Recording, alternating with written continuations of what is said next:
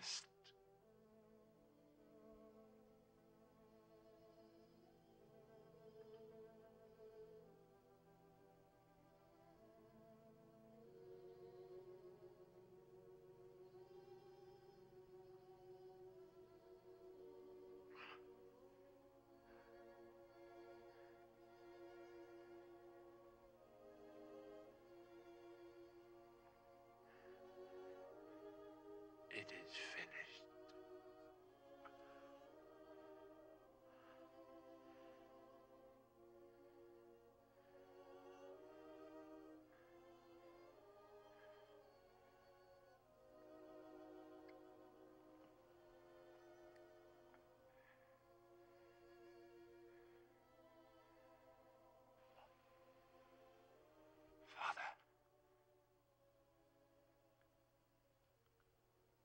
Into thy hands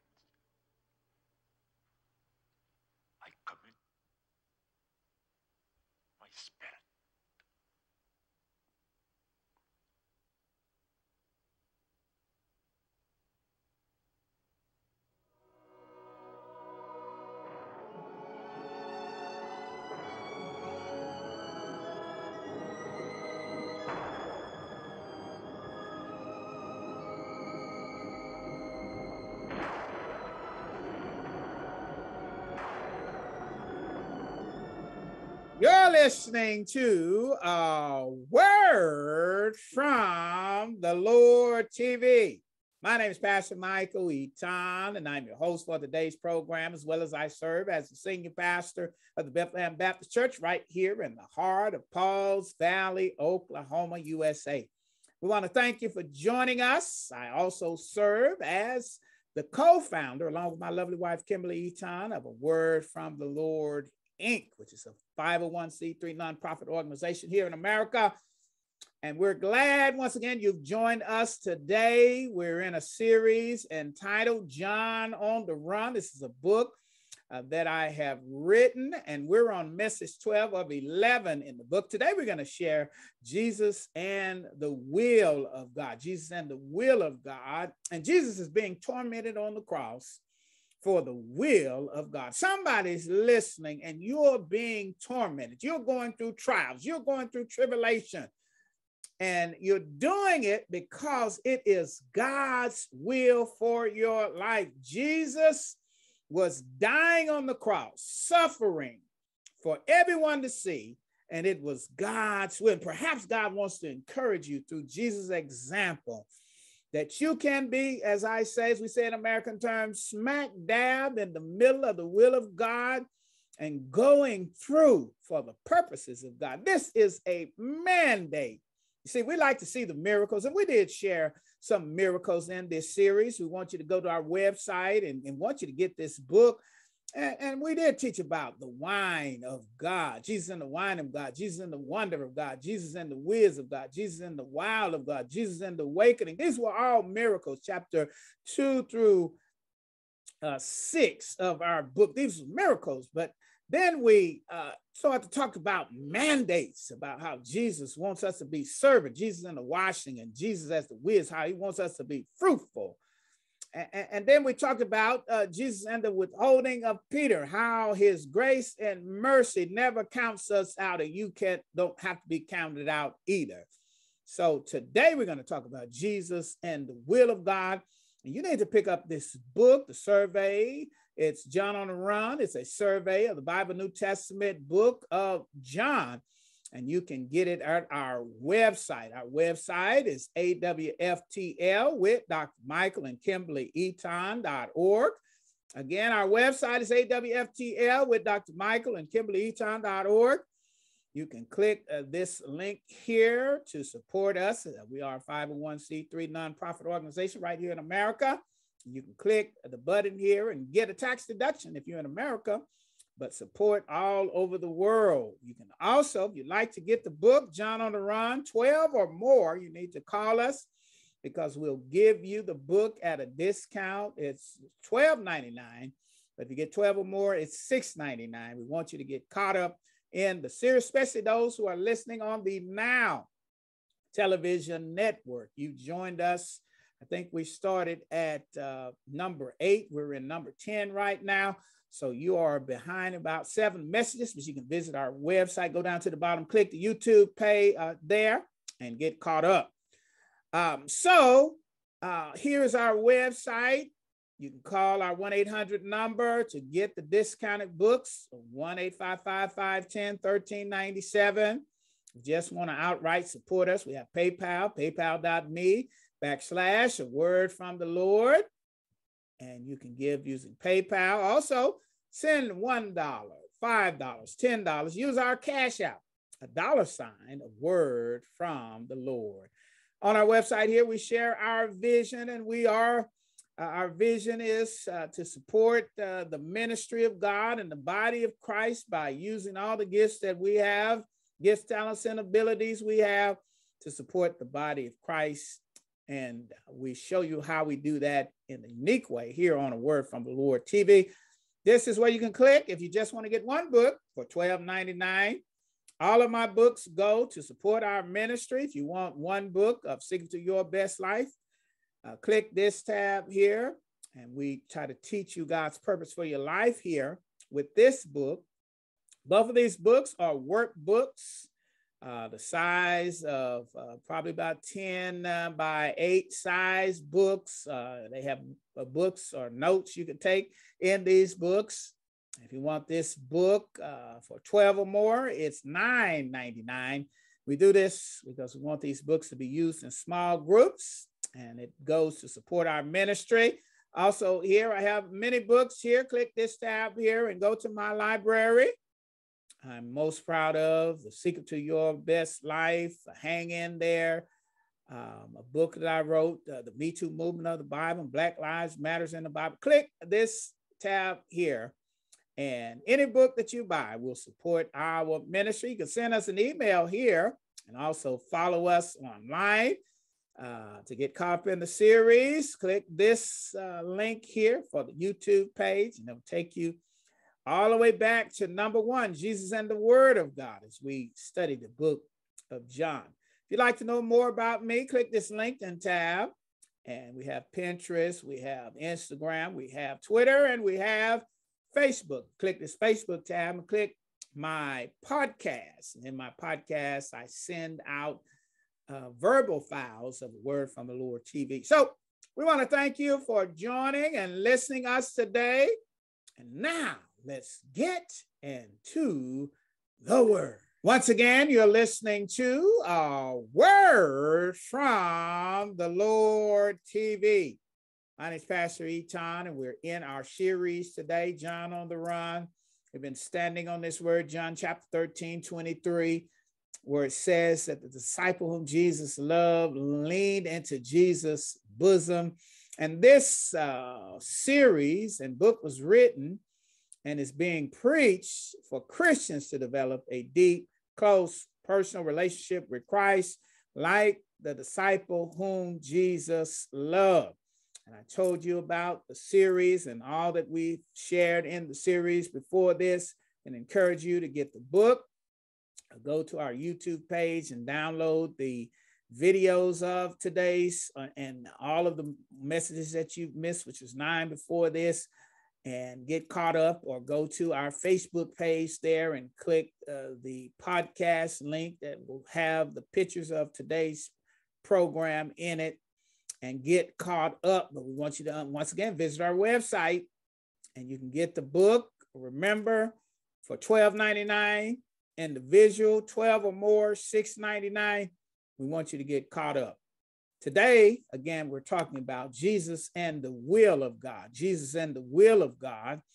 And uh, we're looking at John chapter 19, and we're going to be reading 28 through 30 and 20, uh, 36 through 34 as it is on the screen. Um, let's read this out loud. Well, I'm going to read this out loud for you in your hearing. It says, Later, knowing everything had been finished, and so that the scripture would be fulfilled, Jesus said, I am thirsty. A jar of wine vinegar was there so that they soaked a sponge in it put the sponge on a stake of the hyssop plant and lifted it up to Jesus' lips. When Jesus had received the drink, Jesus said, It is finished. With that, he bowed his head and gave up his spirit. With that, he bowed his head and gave up his spirit. Uh, these things happen, verse 36, these things happen so that the scripture would be fulfilled. Not one of his bones will be broken. And as another scripture said, uh, they will look on the one they have pierced. They will look on the one they had pierced. I read to you uh, John chapter 19. And the context of the message or is uh, 28 through 37. We're going to talk on around three points as the Holy Spirit gives us utterance today. We're going to talk to the fulfillment of Jesus. We're going to talk about the finish of Jesus. We're going to talk about the flow of Jesus. We want Christians to know today that Christians must obey the word of God, even as Jesus obeyed and died on the cross. He said it again Christians must obey the word of God, even as Jesus obeyed and died on the cross. Right here is a picture of Jerusalem, and we are seen in some parts, uh, should be able to be seen in Jerusalem today. And uh, these are the happenings of what happened um, on, uh, as it says, the Easter map here. Um, and we've made it through all of the the judging. He had six trials. He had one with Annas. He went over here to Caiaphas' house, two, and the Sanhedrin, the chief priest, that was three. They sent him over here to Pilate's house, or and that was four. And from Pilate, they sent it to Herod, that was five. And it was sent back to Pilate, that was the sixth trial, and that's where they said, crucify him. And we have him walking through the streets of Jerusalem after he'd been tormented and crucified. And he's walking through the streets of Jerusalem over here to the place of the skull called Golgotha. Golgotha does mean the place of the skull. And this is where we are right here with Jesus hanging on the cross. in today's lesson. So let's get to point number one the fulfillment of Jesus. And later, knowing that everything had been finished, and so the scripture would be fulfilled, he said, I thirst. And, you're going to see in the story of Christ that nothing was done by accident. You're going to see that even on the cross, uh, Jesus was fulfilling God's word just as the scripture said. And uh, fulfilling God's work, and sometimes will put you in places of torment and trials. And you don't hear that much uh, over people who broadcast uh, Christian folk because we don't like to really, really keep it real. You see, Christianity is is not a prosperity religion. God is not concerned about our prosperity. God, as we learned in the lesson, Jesus and the weeds not of God. God is concerned more about our fruitfulness than our happiness. And many times we have to go through a torment, a trials, and tribulations to give God's glory. And once again, to manifest the fruit that God wants us to have uh, and the life that He has determined for us. In other words, the same way God had determined that Jesus would give more fruit from dying, it's the same way He determined some of us who are going through sickness, sorrows, and trials and tribulations, and, and we're suffering for stuff that we really did ha- didn't have anything to do with. People, as the young people say, used to say in America, people are just hating on us um, just because we are saved. Don't you know you are put as I said a little earlier, smack dab in the will of God. Sometimes when you are suffering, sometimes when you're out and the whole world can see that you're suffering, but can see that you are glorifying God in the midst of your suffering. Don't you know that Jesus on the cross today would have to suffer for our sins, uh, that we would later be able to be saved, that we would later uh, the, the, the, the impact of Jesus' life and his disciples are so powerful that it came from over in Jerusalem, where we're on. In some places, you may be able to hear us in Jerusalem, and and and and that that message spread all the way back over here to America, to a small place called uh, Pauls Valley, Oklahoma, to a church where over 116 years ago, it started in a dugout where people started this place because of that same Jesus that was dying, that is dying on the cross right here today for the fulfillment. This was a fulfillment for God. And God is saying today, you're going through this trial, you're going through this tribulation for the fulfillment that I have on your life. So you're not going to hear that on most television programs because uh, they want to make you happy so you can support their ministry and buy their books and but but God didn't send me here to make you happy. He, he sent me here to make you a deep and more profound and powerful Christian because you determined that you're going to serve God uh, even in the midst of trials and tribulation, even in the midst where you don't understand yourself. But God sent me here to let you know that you are going through the same kind of fulfillment that Jesus had to go through on the cross so that the scripture would be fulfilled in your life in Jesus' name. I better hurry on. I'm on at point number one. Here's a wonderful picture we hear the word from the Lord, like try to paint the picture of what's going on in the text, and we try to choose uh, one painting each episode that would manifest or exegete the text. And this is an awesome uh, picture that is at the University of Oxford, and we're on uh, in England as well, London, and I think that's about an hour outside of London. There, we're on there, and this is at Christ Church at the University of London by it's it's entitled Calvary by uh, Giovanni. And, and, and this is a wonderful illustration of what's going on in the text.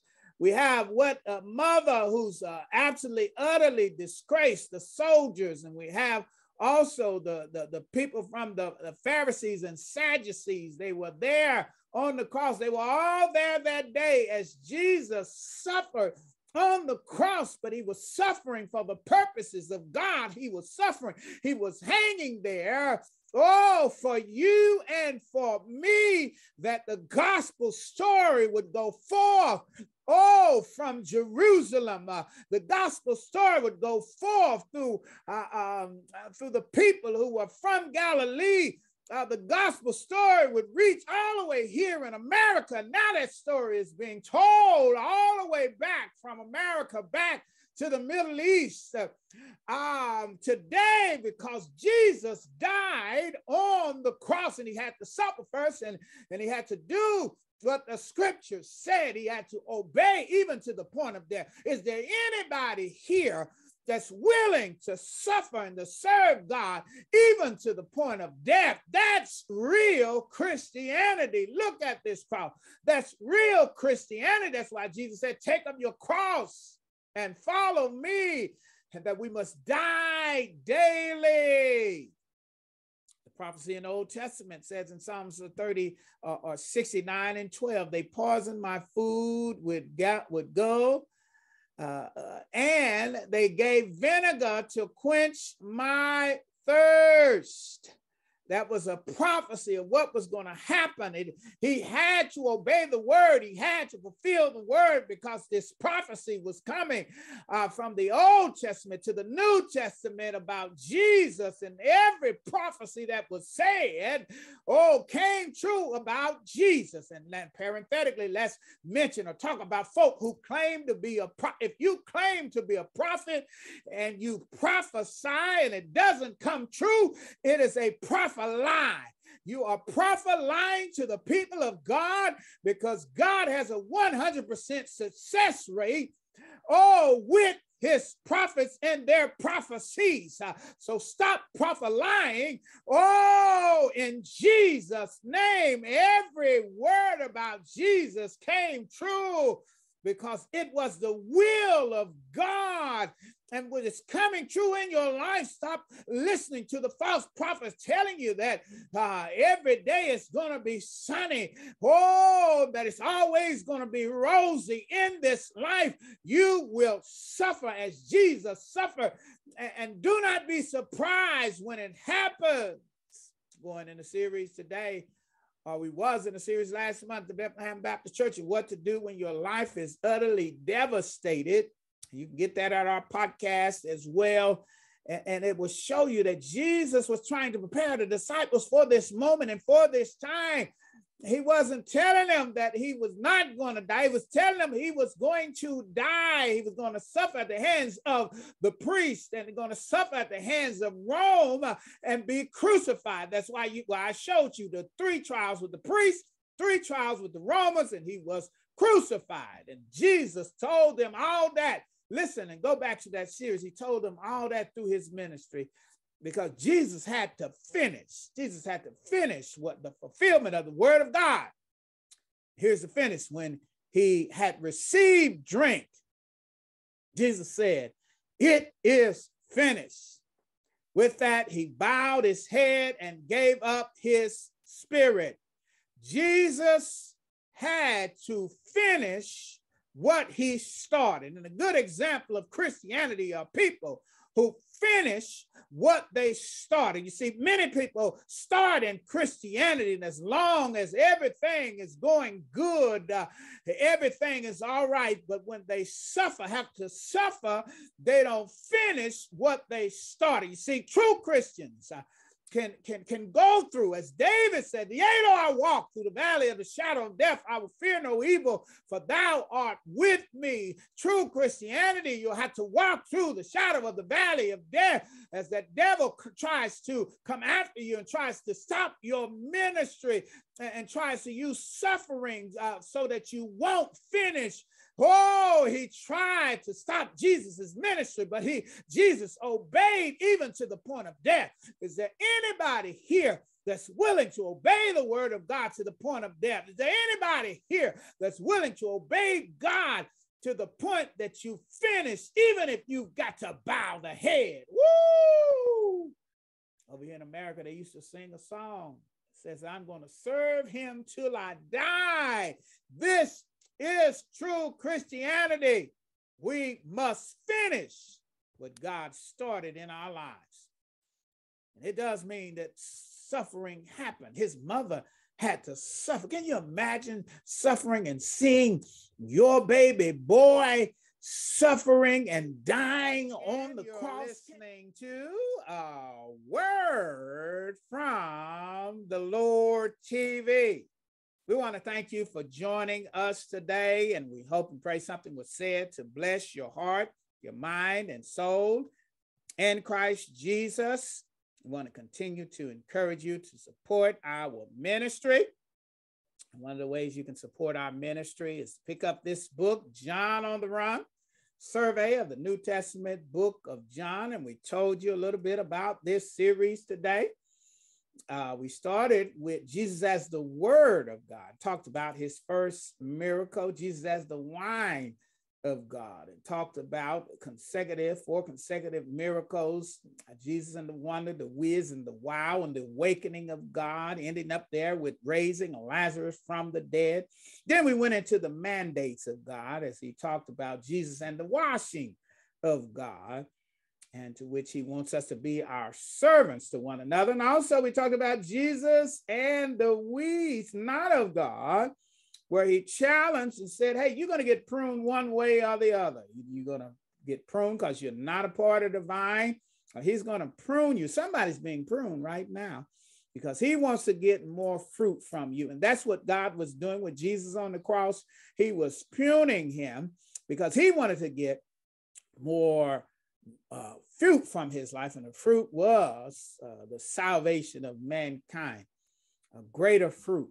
That's why Jesus had to be pruned.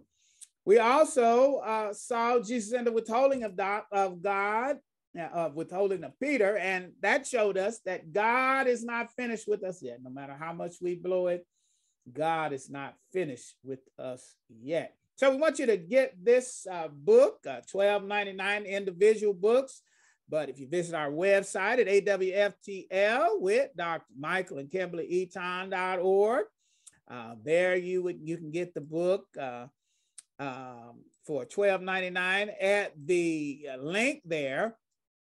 But also, if you want uh, to get the book and the other resource for half price, you have to get 12 or more.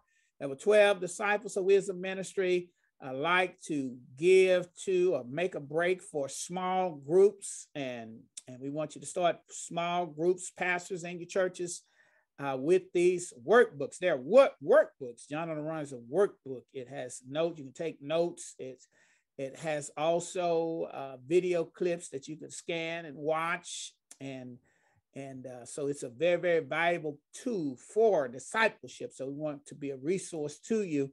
And any of my books, by the way, pastors, if you visit our website at AWFTL with Dr. Michael Kimberly Eaton and and you click uh, any of these books up here if you want to get 12 or more, uh, any of the books that I have written, again, we like to impact the body of Christ. Uh, so it would be half off, but you got to call 1 855 510 1397, 1 855 510 1397. And we can get that to you for 12 or more, half off. Also, if you want to get any of the resources, uh, the program today, you can click here. This is the YouTube, and YouTube will, you can download any of the programs that I mentioned from one uh, to 10 after this week. You can get it there. And also, you visit our uh, Facebook. You can find my podcast. And like I said, every program goes out in an audio file just look for the picture that was in our presentation today. And you can download it for free, both of these for free. You want to get to know a little bit more about me and my qualifications, LinkedIn or Instagram, Twitter. Uh, follow us online.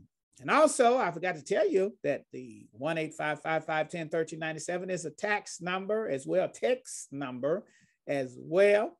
You can text us or you can email us here we love and we want to hear from you to let us know whether or not you've heard a word from the Lord. I want to thank you for joining us today. May God bless you and keep you, is my prayer.